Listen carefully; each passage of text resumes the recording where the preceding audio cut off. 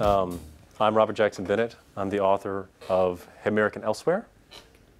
And um, it's the story of, of, uh, of Mona Bright, who is an ex cop who is going through a really rough patch in her life, whose family has just fallen apart, and finds out that her father has died, whom she never really liked. So she's pretty cool with that. And, uh, th but she finds out that through her father, she has inherited a house that her mother used to own uh, in a place called Wink in New Mexico. And this is quite surprising to her because her mother uh, killed herself when she was very young, and she didn't know that her mother had a life previous to that at all. Uh, so she suddenly is questioning who her mother really was. And much more concerning, she can't find Wink on a map almost anywhere. Uh, she finds a mountain that is referenced as close to Wink. Uh, and she goes to the mountain and finds this tiny little uh, perfect town there in the valleys. And the locals are reluctant to have her come and live there, but they accept it. Though they do warn her, don't go out at night. That's for your safety. Uh, she finds this extremely curious and she wants to know who her mother was, so she starts asking questions. And this leads to bigger and much more threatening uh, mysteries. The influences for this book uh, were probably a, a, little big by John Crowley, uh, which is about a small community out in the woods uh, that is getting sort of uh, like affected by and influenced by fairies. And the fairies are almost never seen. Uh, you only glimpse what they're doing at the, the periphery. Um, and I really liked that idea of an unseen force that is changing the way these people live their lives. And um, that's a very, and so I wanted to do that, but do that in something that felt, felt a lot more like the suburbs. And um, that worked quite well because in America, you don't ever look over your fence into someone else's yard. You don't ever look into the windows of your neighbors.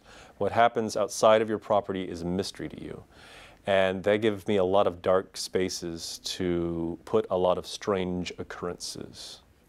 Um, so I chose this because it's almost like an idea that America had about itself in the 20th century. An idea that uh, I think was born in the 40s and the 50s and the 60s. And I think a lot of it uh, was based upon lies to a certain extent. Because if you actually look at the history of America, the 60s were not a calm uh, time to be alive whatsoever, nor the 50s really. There were a lot of problems and a lot of horrible things happening, and those weren't the good old days for everybody.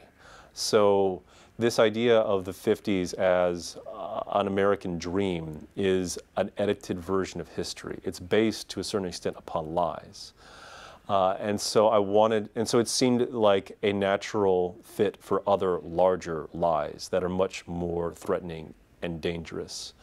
Um, and uh, like I said, there's just something very unsettling about perfection. Um, and, uh, but I also wanted to look at the idea of how once you have the way of life that you think is perfect, what happens if you're still unhappy?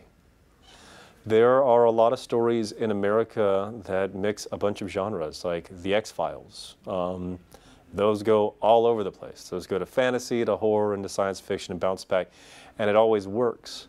But the way that I think of my stories functionally is actually as a mystery. There's something that's not known, and then as the story proceeds, more of these mysteries are unveiled. Um, I think that's how a lot of books work, functionally speaking, where there's something that's unknown, there's a tease, there's something that you don't understand, and then the book, and then the story starts off on a journey that tries to explain it. Uh, different things might happen along the way in that journey. There might be spaceships or monsters or fairies or elves or murderers. Uh, but fundamentally speaking, I think that most books are mysteries in one way or another.